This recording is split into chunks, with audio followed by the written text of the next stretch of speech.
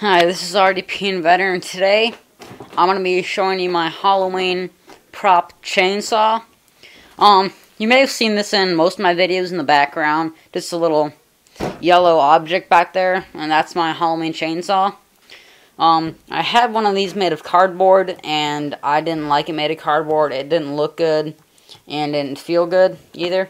So, I went to Home Depot, got some nice thin wood, and made it into this. And yes, I'll just go through and just tell you what's made of, how I did and stuff. Okay, the blade is wood. I spray painted a nice um, metallic color. And inside of this, it goes inside of here. And I have it L bracketed in to the base of it in here.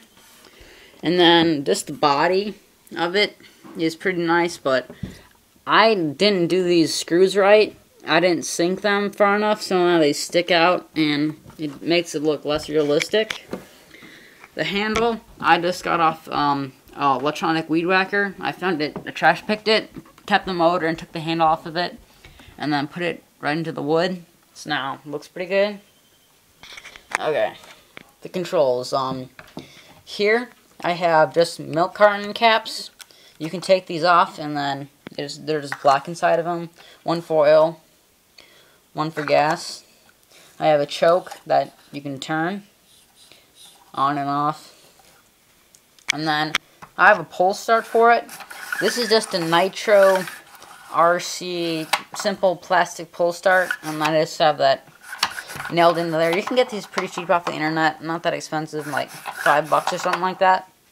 And then the back handle is a milk carton jug, and I just have it cut out and did that. And yeah, um, this is really cool. You can just chase around people with it.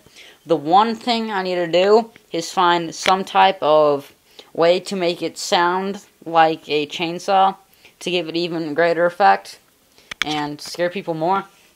So, um, if you have some type of way you can help me with that, um, please post a comment or send me a personal message on that.